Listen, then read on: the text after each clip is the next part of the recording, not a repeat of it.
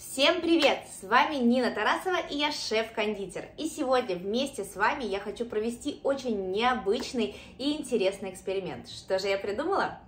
Давайте посмотрим. Итак, у меня есть книга. Эта книга на немецком языке выпущена в Германии в 1936 году кондитером Эриком Вебером. И все бы ничего, но что для меня было самое сложное, даже не то, что эта книга написана на немецком языке, которого я вообще не понимаю, я никогда его не изучала и ни единого слова я не знаю. Это первое. Но, казалось бы, Google переводчик, Яндекс переводчик нам в помощь, но не тут-то было. Книга написана готическим шрифтом. Сейчас я вам продемонстрирую. А этот шрифт в 1941 году был запрещен по приказу Гитлера. Поэтому ни один переводчик, когда я этот текст сканирую, мне не смог помочь и даже примерно перевести, что же там написано. А книга интересная. Здесь очень много картинок, а, рассказана теория. Здесь потрясающе. Посмотрите вот на этих а, шоколадных слоников – с э, пальмами. И мало того, что вот эти слоники, так еще здесь приложена вот такая схема.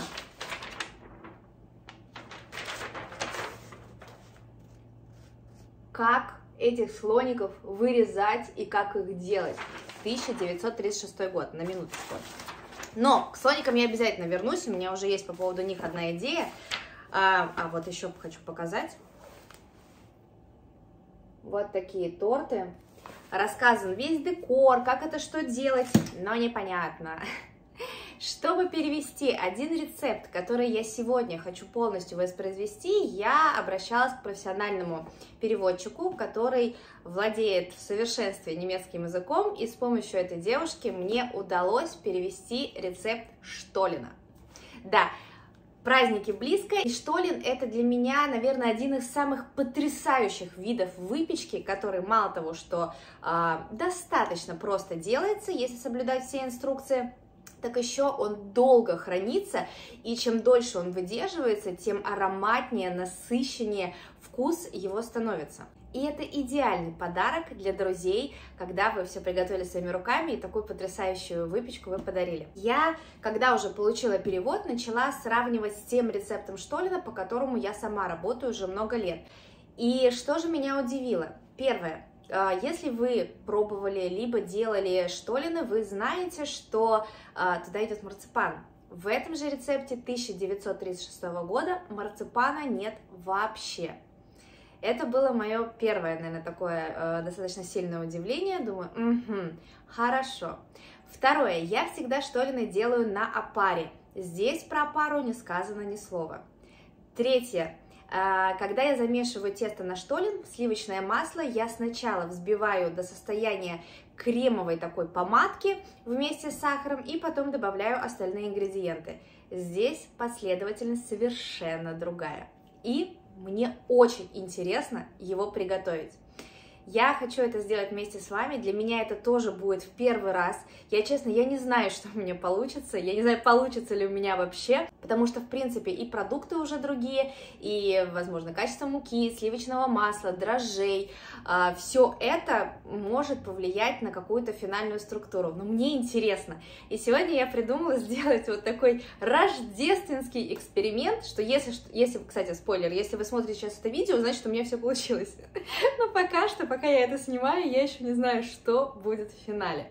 Про марципан что я скажу? Если вы его любите, то можете добавить вот эту марципановую колбаску, когда мы будем формовать э, наш штолен. Если вы его не любите, например, у меня в семье штоль, э, штолен предпочитают только без марципана, а если я его закладываю вовнутрь, то э, у меня просто в семье его выковыривают, а вот саму сдобу уже едят. Штолен это а давайте, знаете что, давайте я прочитаю, что же, вот, собственно, мой перевод, который мне сделали, что пишут в этой книге про непосредственно сам Штолин. Во-первых, это саксонский Штолин, то есть он а, именно из этого определенного региона. Первое. Как готовят увесистые саксонские штолины? Способ приготовления тот же самый, как и в случае приготовления любого иного дрожжевого теста.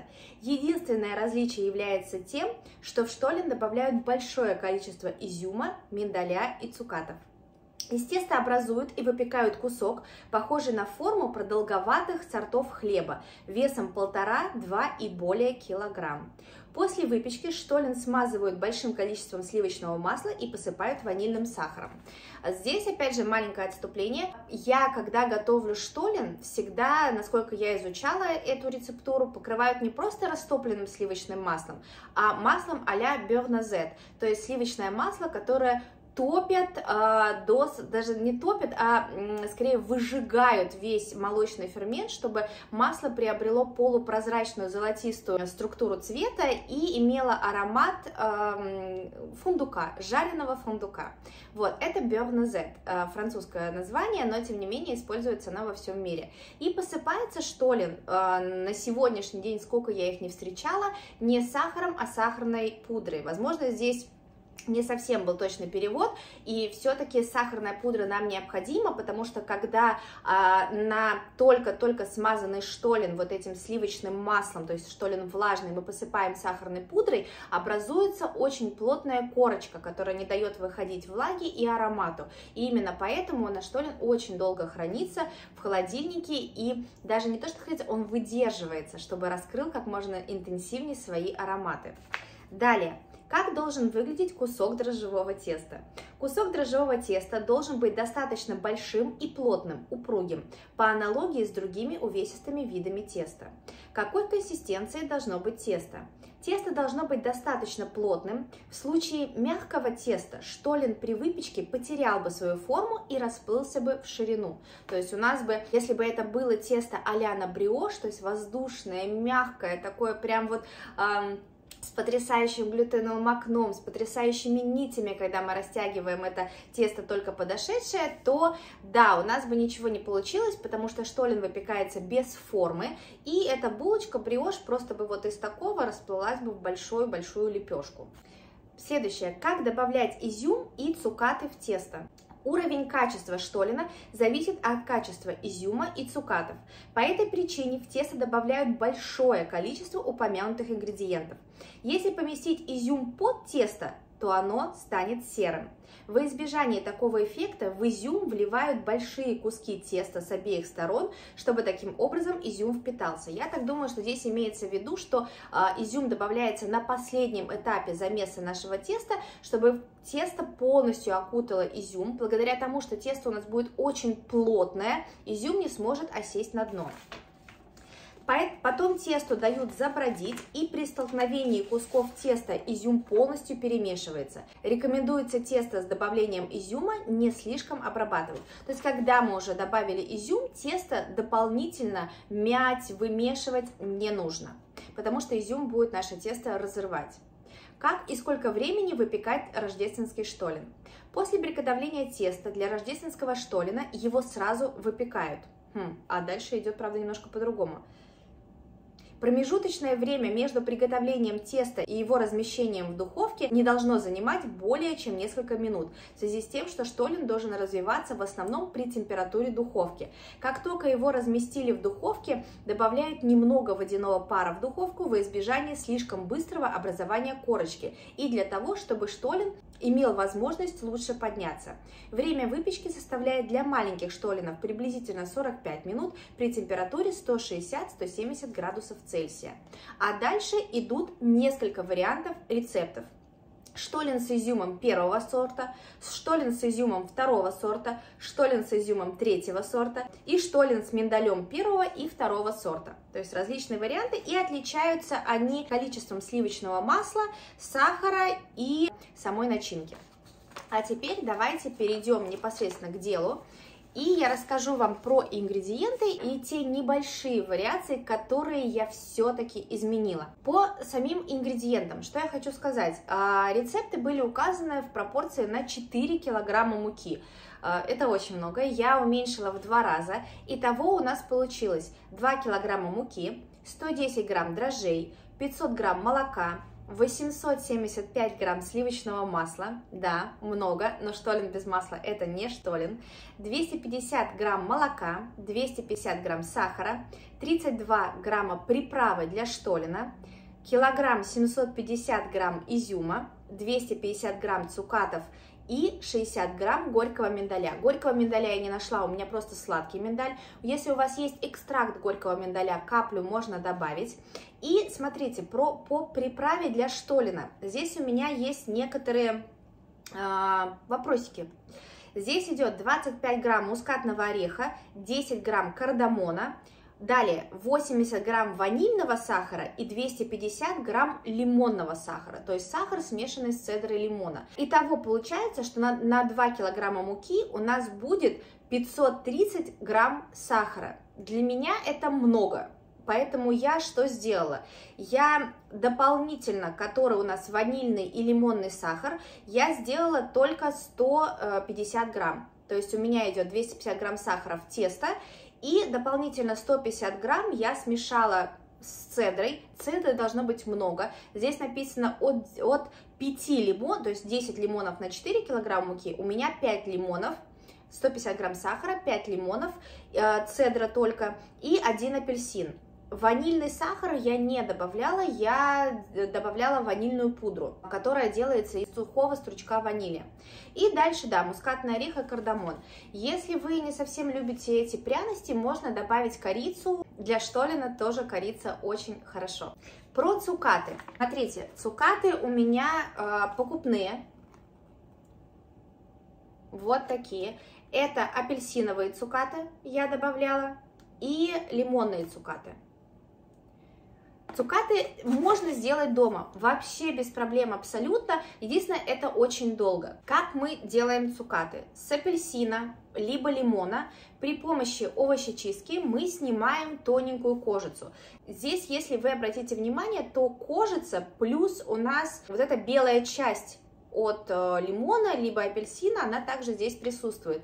Это читерство для меня, потому что вот именно вот эта белая часть, она дает горчинку. Но в данном случае здесь, в покупных цукатах, обусловлено это тем, чтобы вес был больше, и, собственно, а, продать больше, и сделать больше, но себеска получается меньше. Когда мы снимаем овощечисткой, мы снимаем только вот эту ароматную часть без захвата белой части, и наши цукаты будут тоньше, более прозрачные и а, более яркие на вкус, без, горчи, без сильной горчинки.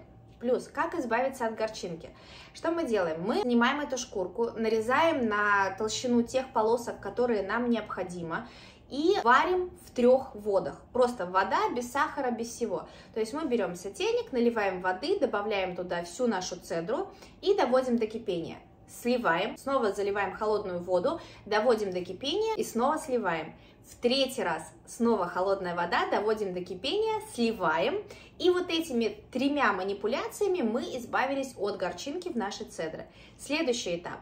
Мы делаем сахарный сироп один к одному. То есть в зависимости от того, сколько у вас цукатов, вам необходимо в два раза а, где-то больше сахарного сиропа. То есть взвесили, посмотрели, сколько у вас а, получается веса ваших цукатов, предположим, 1 килограмм цедры, и, значит, вы берете э, литр воды и килограмм сахара. Сироп делаете, доводите его до кипения, до полностью, чтобы сахар растворился, добавляете туда вашу цедру и э, доводите до кипения. Сняли с огня, накрыли крышкой, оставили на сутки. С, на следующий день снова довели до кипения, сняли с огня, накрыли крышкой и э, оставили на сутки. Третий день сняли крышку, довели до кипения, сняли с огня и оставили на сутки. И вот через три дня ваши цукаты будут полупрозрачные, янтарные, красивые, в густом-густом сиропе, и э, можно перекладывать в банку, и достаточно долго они у вас будут храниться, потому что это как варенье получилось, а сахар это прекрасный консервант, поэтому здесь не переживайте. Можно добавить, если у вас есть какие-то высохшие стручки ванили, можно добавить туда же. Можно дополнительно к воде, если за килограмм сахарного сиропа можно добавить грамм 300-400 апельсинового либо лимонного сока, вот с тех апельсинов или лимонов, с которых вы снимали вашу цедру. Добавить туда же, еще ярче будет э, вкус ваших цукатов. Как бы это долго, но можно сделать один раз, и вам надолго их хватит, э, и всегда у вас будет запас прекрасно вкусных цукатов. Сейчас переходим к нашим ингредиентам, которые я уже подготовила и расскажу про каждый немножечко поподробнее. Мука. 2 килограмма муки. Какую муку я использую? Я использую муку Манитоба.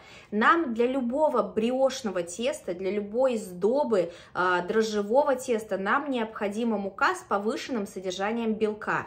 То есть здесь у меня 13% белка, видите, где даже нарисованы там всякие круассаны, булочки, идеально для дрожжевого теста. То есть смотрите, когда убираете муку, у нас есть вот здесь вот параметры, и смотрите всегда, сколько у нас белка в муке. Здесь 13 грамм.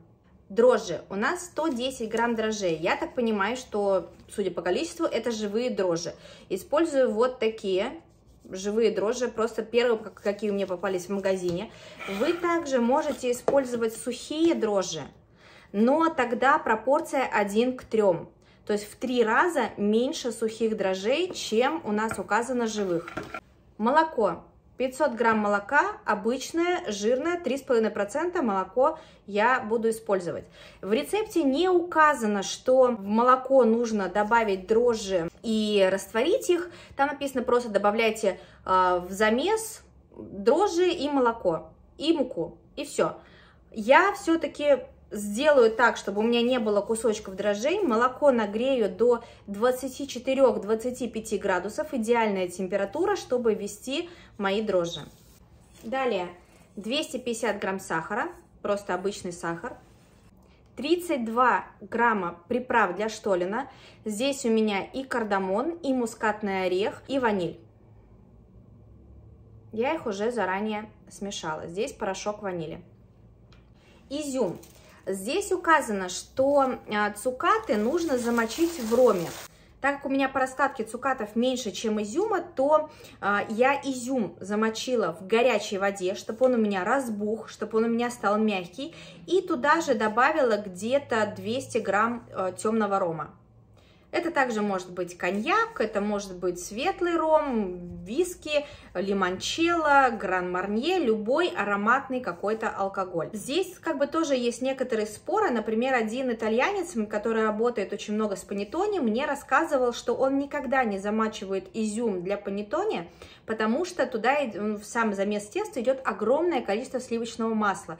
То есть у нас получается жирное тесто как, собственно, и в штолине, да, на 2 килограмма муки у нас 875 грамм сливочного масла. Он почему не замачивает, что тесто долго настаивается, тесто долго а, бродит, очень медленная расстойка, потому что штолины делаются на левиты мадры, на закваске, не на дрожжах, и изюм пропитывается вот этим жиром и влажностью самого теста. В данном случае у нас расстойка будет минимальная, поэтому я все-таки решила изюм замочить, сейчас я его солью, отожму и потом буду добавлять добавлять в тесто. Сливочное масло. Да, его очень много. Я заранее нарезала его с кубиками. Какое сливочное масло я использую? Я использую сливочное масло Зеландия. Для меня это самое лучшее сливочное масло для выпечки, 84%, 33 градуса у него температура плавления. А, сильнейшая, вкуснейшая сливочная ароматика и, естественно, тот вкус, который он придает любой выпечке, он будет просто шикарнейшим. Это как бы мой выбор, я его действительно обожаю, всегда придерживаюсь, чтобы работать на качественных продуктах. Сливочное масло в данном случае здесь, как я понимаю, то есть в рецептуре нету подробного объяснения, но а так как мы сливочное масло добавляем после того, как мы смешали молоко, муку и дрожжи, мы добавляем сливочное масло. То есть я так понимаю, что идет метод замеса как на бриош, когда сливочное масло должно быть холодное, не размягченное, чтобы наше тесто не перегревалось. Тесто не должно нагреться выше, чем 24 градуса. Цукаты. У меня это микс цукатов апельсиновых и лимонных. Также у меня есть лимонный сахар, то есть я 5 лимонов, 1 апельсин и 150 грамм сахара. Я э, перетерла чтобы у меня сахар стал ярко-желто-оранжевого цвета. Когда мы перетираем, слышите, вот так вот до хруста, цедра, которую я натерла, она отдает все свои эфирные масла, и аромат получается просто шикарный, просто вот устоять невозможно, насколько он сильный и яркий. И также у меня еще есть 60 э, грамм миндаля, я его просто мелко порубила. Горького миндаля нету, но я думаю, со сладким миндалем тоже. Кстати, э, в штолен второго сорта идет именно сладкий миндаль. А теперь приступаем к замесу. Так, первое, что я сделала, я молоко нагрела до 24 градусов. 24-25 это идеальная температура для того, чтобы, э, чтобы смешать дрожжи с жидкостью. Выше не рекомендую, не совсем будет комфортная температура для дрожжей. Перемешиваем, чтобы нигде у нас на дне ничего не прилипло и дрожжи полностью разошлись в нашем молоке. Если делать опару, то из общей части муки мы добавляем небольшую часть вот в эту молочную смесь, ну, я думаю, на 500 грамм, грамм 100-150 муки, перемешать и дать минут 30 подойти, а потом эту опару вместе с остальной частью я уже обычно смешиваю. Так, все. У меня ничего не осталось, никаких комочков, все разошлось, и вот такая получилась масса. Я буду действовать по рецепту, я не буду делать опару, я не буду ждать, пока у меня что-то здесь начнет бродить. Я сразу начинаю э, готовить тесто для штолена. Как я буду проводить процесс замеса? Я обычно работаю всегда, если какое-то дрожжевое тесто, бриошное тесто, тесто на ромовую бабу, э, да любой вообще вид теста, я работаю на кухонном комбайне. У меня дома два кухонных комбайна Kenwood, я их люблю, не могу, для меня это самое монументальная машина, которая э, прекрасно себя показала в процессе работы на протяжении большого количества времени. Я начала с Кенвудом работать, наверное, с э, уже лет 10 как. У меня первый был Титаниум Шеф, э, потом я его подарила сестре, он бережно до сих пор у нее работает. Сейчас у меня Cooking Chef и Cooking Chef XL. На Cooking Chef я также работала в ресторане. Когда я работала в ресторане шеф-кондитером, я сразу сказала, что мне нужен именно Kenwood как рабочая машина. И, собственно, он у нас прослужил верой и правдой все время, что я там отработала. Сейчас не знаю, просто меня уже там давно нету. Мы делали и хлеб, э, хлеб бородинский, хлеб на заквасках, хлеб дрожжевой, мы делали бриоши, мы делали э, бромовые бабы, мы делали бисквиты, меренги, то есть он у нас работал всю смену, то есть порядка 12-14 часов он постоянно у нас работал. Никаких нареканий к нему не было вообще никогда, он, ну, у меня он не ломался ни разу, то есть вот сколько я с ним работаю, вообще такого, чтобы меня там струны отлетели, либо там мотор, что-то с мотором было не так, это вообще нет. Плюс, э, что еще могу сказать по опыту, в Институте гастрономии мы тоже работаем на Кенвуде, и даже делали одно тестирование, у нас есть KitchenAid в одной аудитории, в другой Кенвуд, и мы замешивали тесто на ромовую бабу. Чтобы вы понимали, тесто на ромовую бабу замешивается порядка 40-50 минут. Это очень длительный, долгий процесс для того, чтобы развился очень правильный глютен и очень хорошая, грамотная была текстура полужидкого теста а KitchenAid не справляется, у него перегревается мотор за это время, если идет перегрев мотора, то, само собой, тесто тоже нагревается, а при выше, чем 24-25 градусов для дрожжевого теста, начинается процесс брожения, и у нас вся структура теста ломается, начинается расслоение, и выглядит все это ужасно, и по результату не получится то, что планировалось, что задумывалось. Кен же не перегревается, и поэтому я в дичайшем восторге от этой машины, очень рада, что она у меня есть. Кстати, близятся новогодние праздники, если вы не знаете, что попросить у любимого на Новый год, то моя искренняя рекомендация, действительно, эта машина прослужит вам очень долго, сэкономит ваше время и подарит массу приятных минут, часов а, работе на кухне, как вот это такое удовольствие получаю я. А, если интересно, у меня есть промокод на Kenwood на официальном сайте, введите Никся, и вам будет много приятностей. Следуем четко рецептуре. Меня смущает процесс замеса, потому что здесь идет в чашу сразу добавляется, то есть нам нужна насадка крюк, специально для дрожжевого теста. Нам нужно в дюжу, вот в эту емкость, поместить 2 килограмма муки. Нам нужно добавить э, дрожжи и молоко. Дрожжи с молоком мы уже перемешали, и я их начинаю добавлять. Это мало. У нас не получится образовать хорошее тесто, и поэтому далее пишут, что сразу вводите сливочное масло, сахар и приправы. Посмотрим, что получится. Действительно, очень много что смущает, но я доверюсь этой книге, потому что я все-таки, да, действительно делаю по-другому. Мы начинаем на минимальной скорости перемешивать. Ни в коем случае не ставьте сразу высокую скорость, потому что у вас все просто разлетится в разные стороны. Вот чуть-чуть добавляю сливочное масло.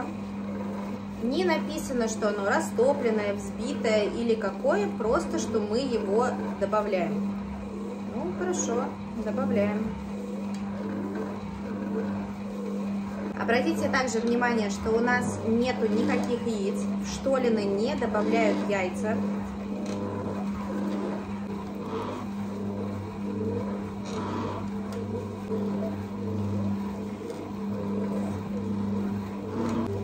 Пока выглядит очень сухо. Посмотрим, что будет дальше. Машине тяжело, я это вижу. Э, мне смотреть на это тоже тяжело. Как я сказала, в Кенвуд я верю, у него обязательно получится. Очень-очень популярен штолен э, в Японии.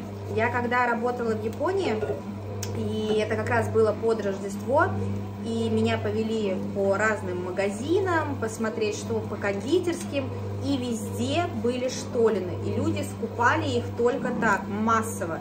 То есть там даже штолен был э, намного популярнее, чем э, те же самые моти. А еще в Японии безумно популярен э, десерт, тоже немецкий, баумкухен. Э, слышали про такой э, десерт?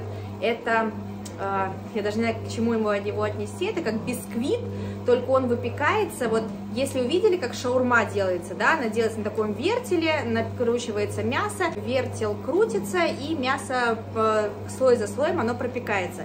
Вот баумкухен то же самое, только вертел не вертикальный, а горизонтальный, и он постоянно крутится, а сверху льется тонкое-тонкое тесто, а бисквитное, блинное, что-то среднее, и вертел над огнем а, крутится, слой подпекается первый, второй слой теста, потом третий, четвертый, и на срезе он как спил у дерева, когда много-много колец. Вот то же самое, э, это бамкухен. Дома его, ну, как бы не приготовить в той оригинальной версии, в которой э, он есть. Кстати, рецепт бамкухена тоже есть в этой книге, я уже посмотрела и увидела. Но у меня вертела нету, поэтому мне вам его не показать. Итак, я добавила все сливочное масло. Теперь написано, что мы добавляем сахар и э, приправы. Так, пошел сахар. Дальше я добавляю лимонный сахар. Здесь не указано ничего про соль, но я соль всегда рекомендую добавлять. Щепотку соли обязательно, потому что соль это самый доступный усилитель вкуса. Соль никогда не будет у вас лишней ни в бисквите, ни в дрожжевой, ни в какой-либо иной выпечке. Обязательно добавляйте щепотку соли. Так, сахар я добавила, теперь пошли пряности. Так, тесто начинает образовывать свой однородный вид, что приятно. Я попробую увеличить немножко скорость. Пошел такой яркий аромат пряностей.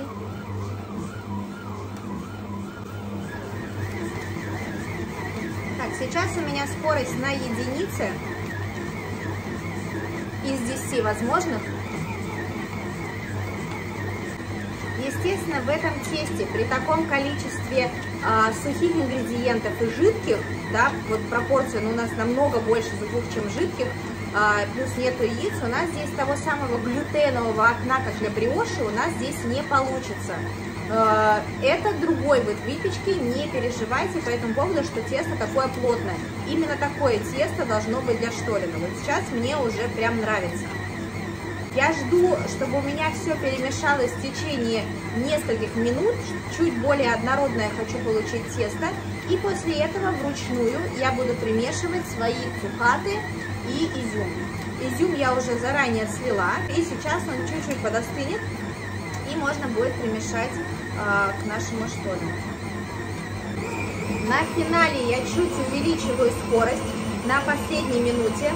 Обратите внимание, как бы э, много тугого теста не было, я вот сейчас трогаю мотор, он ледяной. У меня совсем ничего не нагрелось. Это фантастика. Итак, смотрим, что у нас получилось. Ой. Вот такое тугое, очень тяжелое маслянистое тесто. Работать дальше с ним надо очень быстро. Сейчас оно холодное, той температуры, которая мне необходима. Я думаю, здесь около 20 градусов. И мне нужно примешать сюда цукаты и изюм. Это, в принципе, можно сделать в машине. Давайте я покажу.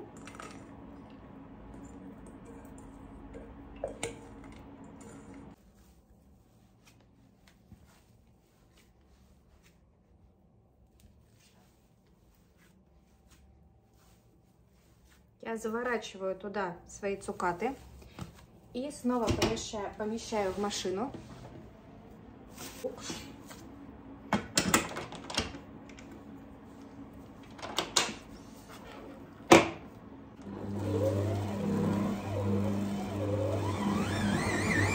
мы перемешиваем это дело в машине. Если у вас такая большая дюжа, да, я знаю, что другие кухонные комбайны, они имеют намного меньше литраж, чем здесь. Здесь, если я не ошибаюсь, 5 литров, то это дело можно сделать вручную. Показываю, как это сделать вручную. Если вы работаете с, э, и у вас дома жарко достаточно, то э, откройте окно, если это зима.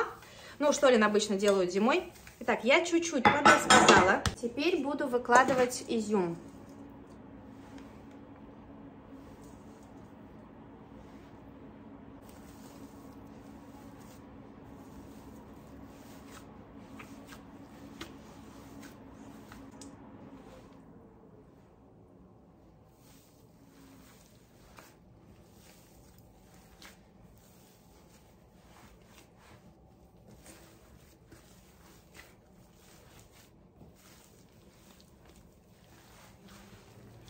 Обратите внимание, что тесто не липнет ни к столу, ни к рукам.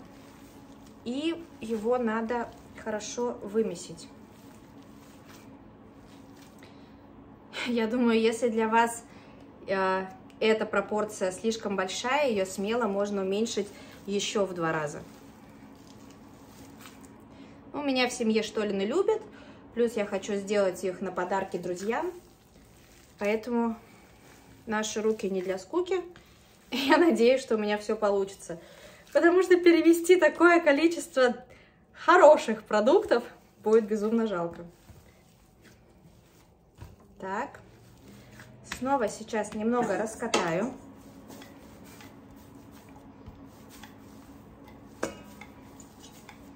То, что оно рвется, не переживайте. Это у меня не размешанный изюм.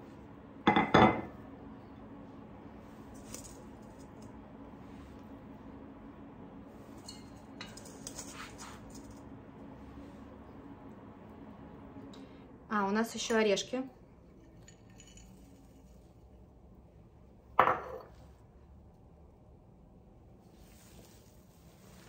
И продолжаем вымешивать.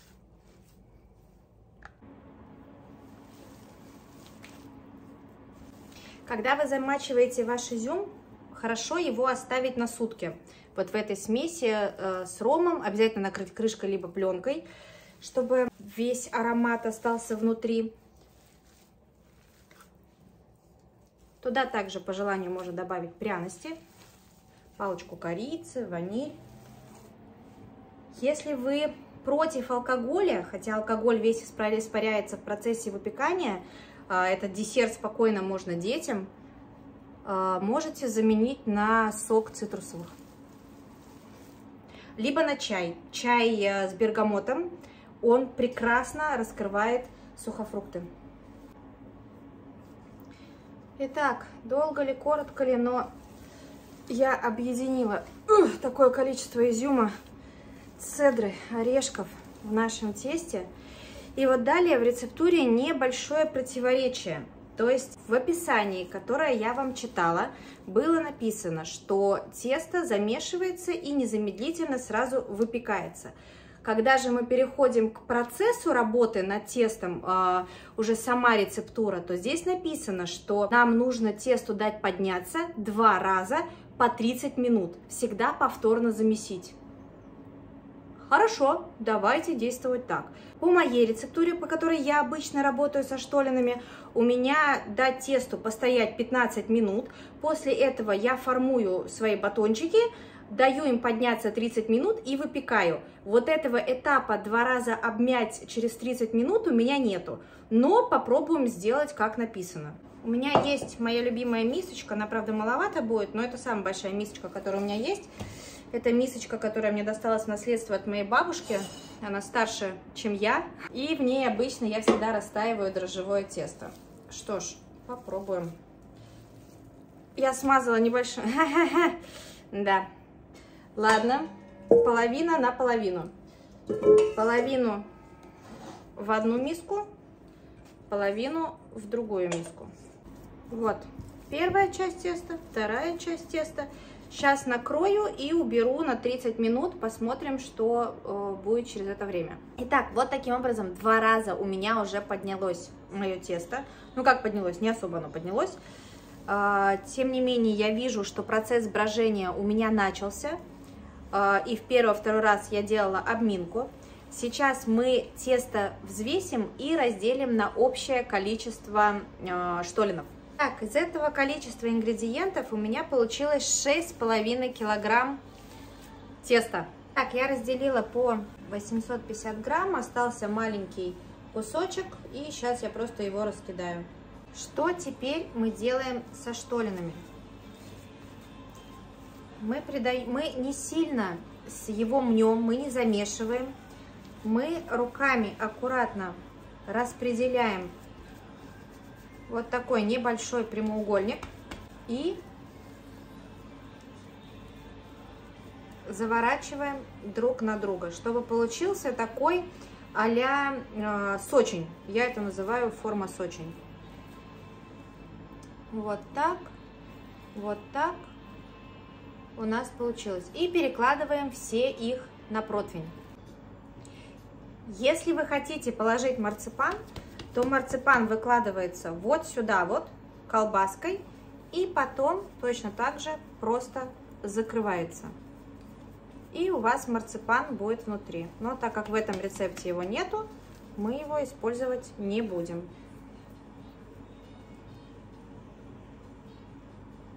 Из этого количества теста у меня получилось 7 штолинов. Здесь 5 и еще на другом противне еще 2. Хоть в рецепте и не сказано, но я все равно всегда выпечку покрываю э, лизоном. Это яйцо, смешанное с молоком, один к одному, для более румяной корочки.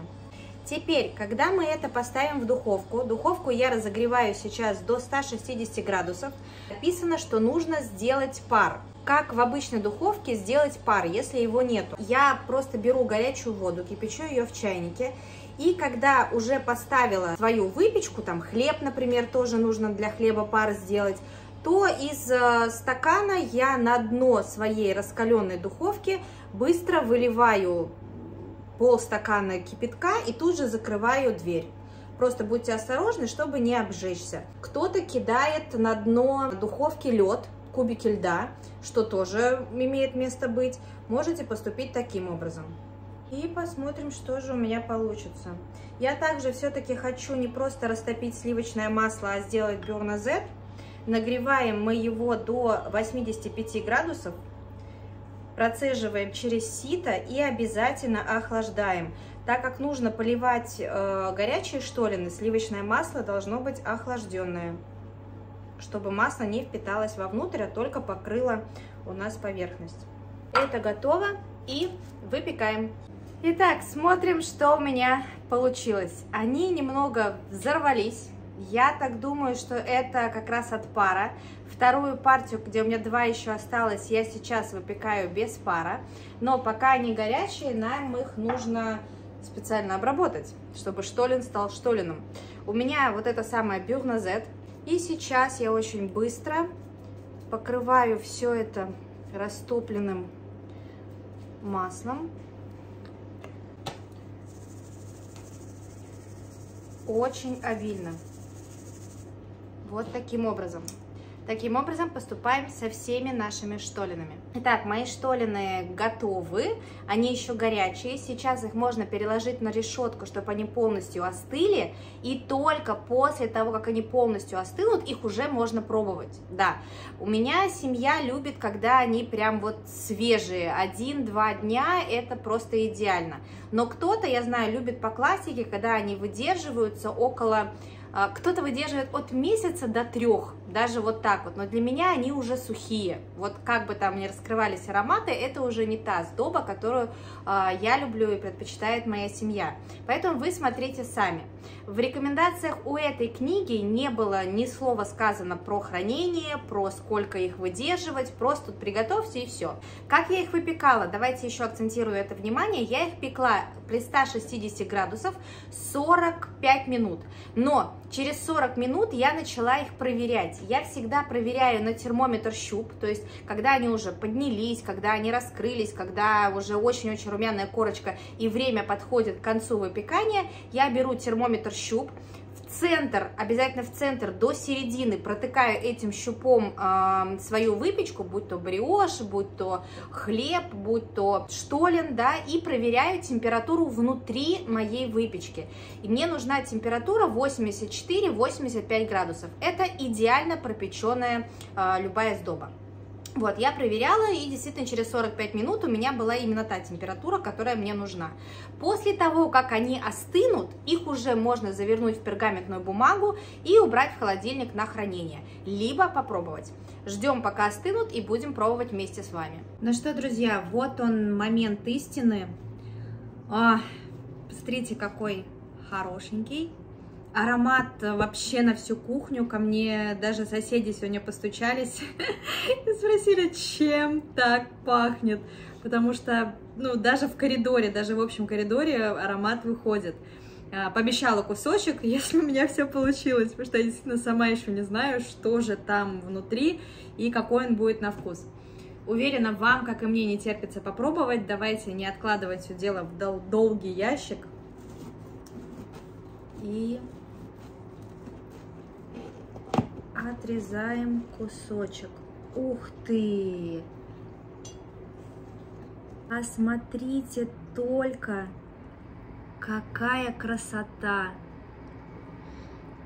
Очень-очень много аромата. Я чувствую больше кардамон и мускатный орех, чем корицу. Хотя я корицу безумно люблю и хотела бы, наверное, больше чувствовать ее. Много цукатов, очень много цукатов, белый изюм. Чуть-чуть он еще тепловат, я не смогла дождаться полностью, полностью, когда он остынет, потому что просто не терпится. И из-за этого кажется, что он как будто недопечен. Но температура была внутри даже где-то около 90 градусов. То есть он 100%, когда остынет, будет у нас полностью готовый. Влажный, сочный. А, и теперь давайте попробуем. Ну что, друзья, я его сейчас попробую. Это очень интересно. Не знаю, что меня ждет, но давайте вместе продегустируем тот самый штолен, который по рецепту 1936 года из немецкой книги.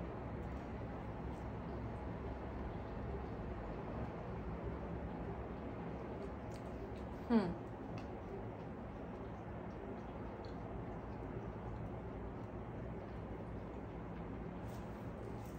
Вау. Вау! Я сейчас даже не знаю, как это описать. Во мне борется куча эмоций. Во-первых, то, что это часть такой истории. Этому рецепту столько лет. Боже, он такой нежный. О! Пряности раскрываются именно на послевкусие. Сейчас у меня просто фейерверк богатых пряных ощущений – Настолько они бархатные, теплые, зимние, безумно вкусные. Сейчас заиграла цедра. Первое вот это ощущение вкуса — это большое количество цукатов и апельсина. Их очень много. Я действительно их очень сильно люблю. Я знаю, что не все любят изюм, не все любят э, цукаты, но я сейчас нахожусь в шоке. Я сделала что-то, что-то очень крутое. И я настолько собой горжусь, я настолько рада, что у меня все получилось, несмотря на то, что ингредиенты поменялись, несмотря что там в духовке те же самые поменялись, уже совсем другие. Но это так вкусно! Я настоятельно рекомендую вам его приготовить, ощутить вот эти эмоции вместе со мной и прикоснуться к истории, к истории немецкого десерта, такого как штолен. Ребят, оно стоит того. Все эти ингредиенты, все а, эти трудозатраты, когда мы его замешиваем вместе с цукатами, вместе с изюмом, вместе вручную, оно реально стоит того. Вау, я... Это не... Я, я действительно первый раз его сейчас попробовала, и у меня аж слезу пробила. Это, это реально очень круто. Что я хочу сказать? А, эксперимент удался. Я хочу продолжать в том же духе. У меня есть еще одна интересная книга 1900 года Лекордом Блю на французском языке. Я сейчас занимаюсь ее переводом. И если вам понравился этот формат, если вам понравилось участвовать в таком историческом кулинарном поединке, если так можно сказать, то напишите, пожалуйста, в комментариях, чтобы я пекла неистово, что я и вам рекомендую. Пеките неистово, пусть вам будет очень вкусно, и обязательно приготовьте, попробуйте этот рецепт. Он нереальный, просто вау! Я довольна, всем желаю приятного дня, вечера, утра, не знаю, когда вы это посмотрите. И самое главное, пусть на вашей кухне всегда будет вкусно. Вы только посмотрите, какой чудесный вышел штолен по этому рецепту. История, вкус, пряности, цукаты – все это в одном кусочке.